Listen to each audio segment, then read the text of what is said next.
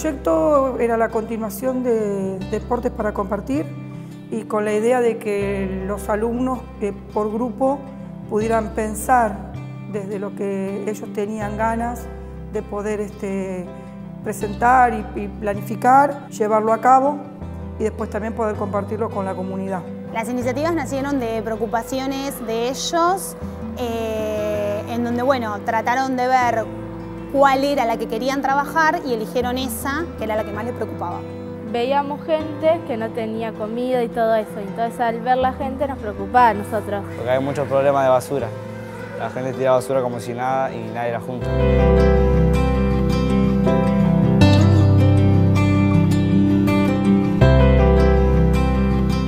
Grupo realmente pudo votar y elegir lo que la mayoría quería. Bueno, nos organizamos en grupos, ¿no? Nos dividimos.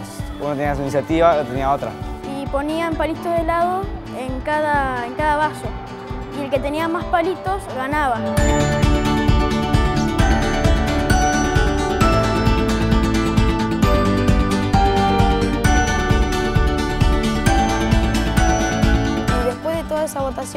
Se eligió el proyecto de llevarle comida a un comedor y así juguetes. Que se llama Agentes en Acción. Trataba de ir recolectando alimentos, luego los poníamos en unas cajas y al finalizar el proyecto lo íbamos a entregar al comedor. Y todos salimos del comedor muy contentos cuando ya se los dimos todos.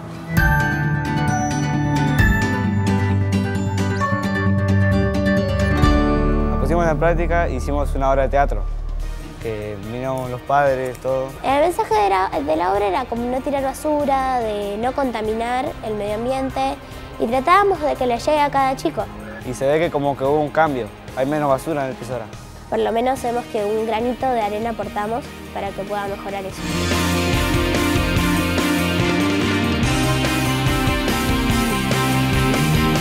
Estaban organizados, que cada uno cumplió su rol, que por ahí chicos, como decís vos, que nunca participaban, estaban súper entusiasmados y que también respetaron cada uno la función que tenía. En eso se vio bien que, que lo habían tomado en serio. Estuvimos buscando ideas por internet para poder sacar algo, también fuimos a la biblioteca y sacar ideas de ahí. Eh, nos dividimos en grupos, uno que, que limpia los juguetes, que se fija la fecha de vencimiento, y después había, poner los, los varones juntaban por todo el aula. Los vi en condiciones de poder trabajar en equipo, como la palabra dice, eh, y en donde se organizaron bien y me gustó esto de que hayan sido buenos compañeros entre sí.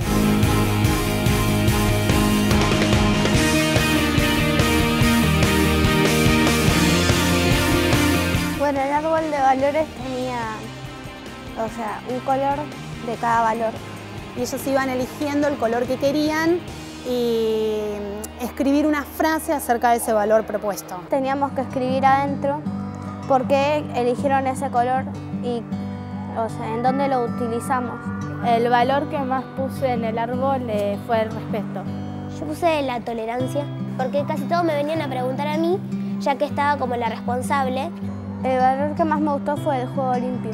El trabajo en equipo porque respeté a todos mis compañeros y escuché también, y ellos también me escucharon a mí, todo lo que querían decir y eso.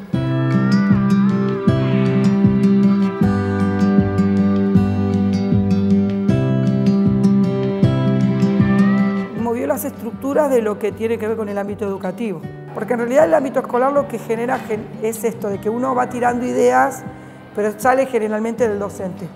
Acá la idea salió de ellos. Había temas que nosotros pensamos que no iban a salir y sí salieron. Y se elegía lo que decía la mayoría y que el que no le gustaba tenía que acomodarse a eso.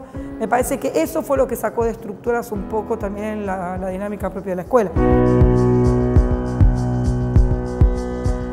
Me gustaría que otros chicos ayuden también. Que estaría bueno que puedan ayudar a crecer el país si nos esforzamos, podemos hacer cualquier cosa.